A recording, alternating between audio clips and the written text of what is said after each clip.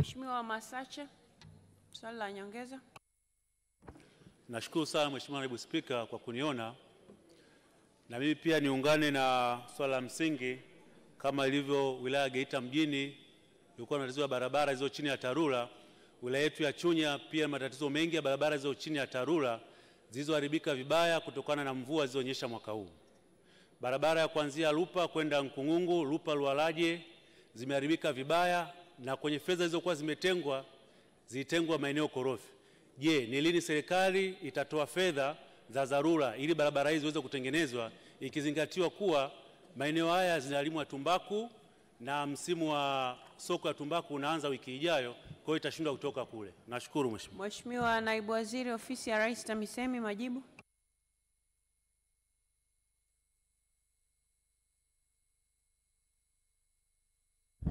Mheshimiwa Naibu Spika, kwa niaba ya Waziri wa Nchi Ofisi ya Rais TAMISEMI, naomba kujibu swali dogo la nyongeza la Mheshimiwa Masache Njeru Kasaka, mbunge wa Lupa kama ifuatavyo. Mheshimiwa Naibu Spika, Mheshimiwa mbunge ameainisha baadhi ya barabara ambazo zimeharibika sana wakati wa mvua yakiwemo madaraja na sehemu ya hizo barabara uh, e, TARURA walipeleka fedha kwa ajili ya kutatua hizo changamoto za udharura kwa maana ya uharibifu wa hizo barabara, na sasa hivi ameomba tu kwamba serikali ni lini tutatenga fedha kuhakikisha hizo barabara zinapitika.